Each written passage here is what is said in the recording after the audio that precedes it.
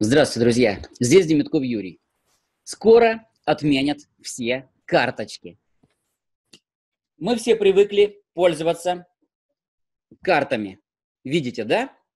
Виза, MasterCard в основном. И люди привыкли расплачиваться в магазинах только картами. Это удобно, действительно. Мы приходим на кассу, и мы видим, что прикладываем, и пошел. Все, деньги ушли. Вот, но что это такое? Это в основном, посмотрите еще раз, Visa и MasterCard, понимаете? Вот, и куда идут деньги?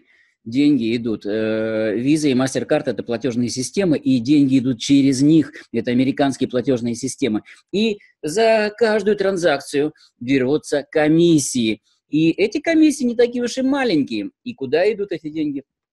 Естественно, э, тем, кто управляет этими системами Visa и MasterCard. И кроме того, по данным карты отслеживаются все транзакции. Кто, когда, сколько и Э,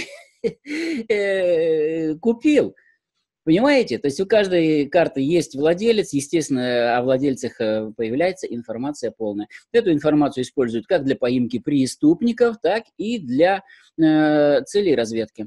Вот. И, конечно же, это не нравится. Я в предыдущем видео говорил, что разрабатывается система параллельно Центробанком и Сбербанком э, о том, что будут проводиться платежи минуя эти системы, то есть, ну, уже введена система МИР, которая не зависит от, э, это не Visa и не MasterCard, это российская система, и она уже занимает 14% всех карточных платежей. Почему? Да потому что всех бюджетников просто обязали перейти на карты МИР, и они расплачиваются картой МИР, никаких проблем с этим не испытывая. 14% рынка карточных платежей ушло в мир. Но Набиуля на, на этом не хочет останавливаться. Она говорит, все люди должны платить банковскими переводами. Как это происходит сейчас и как это будет, смотрите в данном видео. А пока поставьте лайк. Смотрите, что происходит сейчас. Сейчас для того, чтобы перевести деньги банковским переводом, то есть у всех у нас есть счета в банках, это как бы здесь нет проблем. Вот. И как перевести деньги со счета на счет? Мы вводим платежное поручение, БИК, это банковский идентификационный код, э, это номер банка. И у каждого банка есть свой БИК. Мы вводим БИК, мы вводим, слава богу, уже не надо корреспондентский счет вводить, мы вводим вот такой длиннющий расчетный счет, и мы вводим назначение платежа. Вот, и люди путаются, люди не могут этим, как бы, сказать, цифры эти, так сказать, ошибешься в одной из 20, эти нули считать, это же ужас. И, конечно же, это надо упростить. Хотя, с другой стороны, люди вводят номера карточек и так далее, но номера карточек тоже неудобно. Удобно идентифицировать клиента, конечно же, по номеру телефона. То есть у каждого из нас есть телефон, мы просто вбиваем, значит, э, в списке контактов находим человека, который э, есть, вот, и, значит, соответственно, мы выбираем человека, и мы говорим, я хочу перевести деньги этому человеку. Система находит карту, которая зарегистрирована на этого человека, и переводит по карте, что мешает перевести точно так же на банковский счет этого человека деньги. Надо просто упростить эту замечательную процедуру. И это уже сделано. Эту систему сделал э, быстрых, система быстрых платежей э, Центробанк. И эту же систему, такую же подобную, сделал Сбербанк. Но э, львиная доля платежей проходит через магазины. И разработки в этом направлении уже ведутся. Что же будет, э, как будет проходить система? Уже большая часть этой системы готова и внедрена, и мы все это видим каждый день. Посмотрите, в последнее время все чеки, которые мы оплачиваем, сопровождаются вот таким QR-кодом. Видим, да? Он неспроста. Что будет дальше? Следующий шаг. Я вам скажу. Мы приходим в магазин и э, перед кассой нажимаем на кнопочку своего банка, будет мобильное приложение.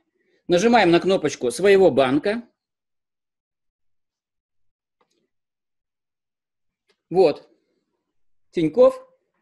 Значит, вводим перед кассой ну, свой пин-код, то есть мы у себя вводим, мы авторизуемся. И мы говорим Тинькову, что это я хочу сделать. Дальше э, в мобильном приложении будет соответствующая кнопочка, что оплатить по QR-коду. Все. Мы, значит, нажимаем на кнопочку и э, наводим свой телефон на чек. Чик. Пик-пик. Все.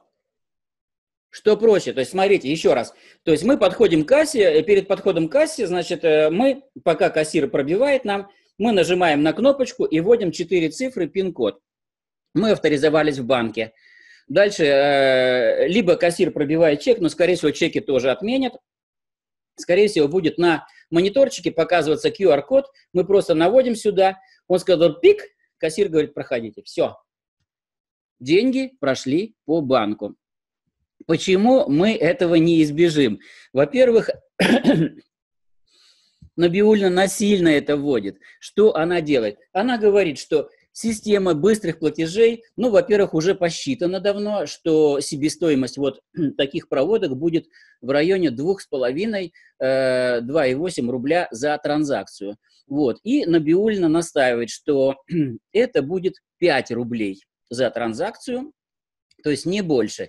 Вот, сейчас я э, хочу напомнить, что сейчас минимальная транзакция э, через ну, э, банк стоит 50 рублей, то есть в 10 раз ниже это будет, во-первых. Во-вторых, значит, ну, либо это полтора процента, там комиссии бешеные. Что касается, значит, вот расплаты картами, когда мы расплачиваемся картой, это не значит, что это все бесплатно проходит. Это значит, что магазин платит за вот эти вот, э, за эквайринг за проводку. Кому он платит? Американцам. Какая комиссия? Ну, там бывает комиссия 0,3%, бывает комиссия 1%, 1,65%, 2,5%, в зависимости от оборота магазина, от оборота денег. Мы платим э, системе вот этой вот. Набиулина говорит, то есть там большие деньги, то есть там 1%, полпроцента, ну, от тысячи 1% это уже 10 рублей, понимаете?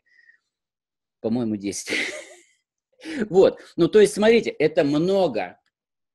Да, от 1001% до 10 рублей. Это много. А тут 5 рублей не больше, но Набиульна настаивает и говорит, бесплатно.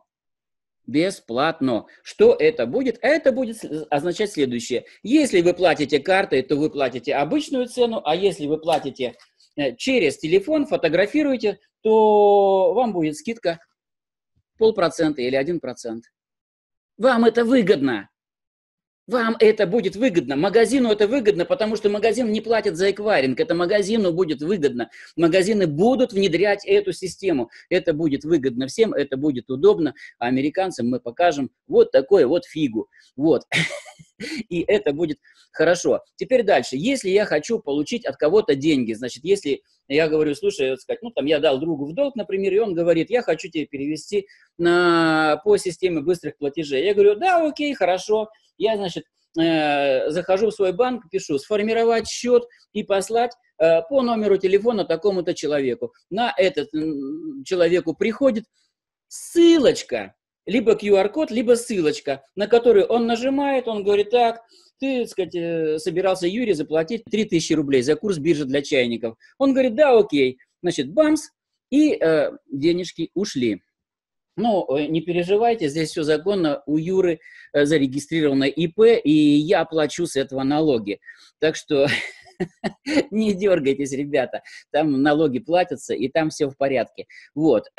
То есть вот так будет. И точно так же будет, там сказать, если э, мама переводит студенту, да, пожалуйста, значит, студент пишет, значит, там, вот он мой QR-код, мама знает его QR-код, она, значит, бамс, туда переводит. Все, это стандартная будет процедура, всего нажатия, смотрите, заходим в банк, вводим пин-код, ну это обязательно, это авторизация, пока обязательно, скоро и это отменят. Вот, и, соответственно, значит, э, нажимаю, значит, перевести сыну, значит, деньги, все, сын получил деньги. Моментально, никаких проблем с этим не будет, все только улучшается, не надо думать, что нас все хотят обмануть. Вот, да, я тут оговорился немножечко, сказал, что скоро э, будут отменять пин-коды. Конечно, будут, потому что, э, вот смотрите, уже внедряются системы распознавания лиц. Понимаете? И пока распознавание лиц, оно достигло, в принципе, 0, там, 3 нуля, единицы, процент ошибок, но он есть еще немножечко, то есть все это добивается. Мы просто будем, а, скажем, подходим к банкомату, Смотрим на него и говорим, ну, здравствуй. Он отвечает мне, здравствуйте, Юрий Алексеевич. Это значит, что он меня определил как Юрия Алексеевича. Что хотим? Я говорю, я хочу взять 20 тысяч рублей. Он говорит, да пожалуйста, с какого счета? Я говорю, с такого. Ну, говорит, давай. Вот, и, значит, он выводит. Ты согласен? Я говорю, да, согласен. Все. Я буду произносить это речью. То есть мы будем разговаривать с банкоматами, это будущее, совсем недалекое будущее. Поверьте мне, эти системы уже готовы. Они ждут внедрения, уже тестовые э, испытания проходят. Все это уже внедряется, все это будет. И не надо вводить на, на э, то есть вы все уже знаете, что у многих из вас есть раз и по отпечаткам пальцев включается телефон. Он не включится у другого человека. Все, все будет вот так. То есть мы берем телефон, э, нажимаем на кнопочку, значит, он уже распознал. Я говорю, оплатить, камера, все. Секундное дело, меньше секунды. И это будет в ближайшее будущее. так что оно грядет. А карточки?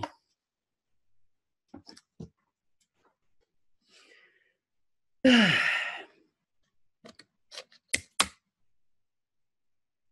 Спасибо за внимание. С вами был Демитков Юрий.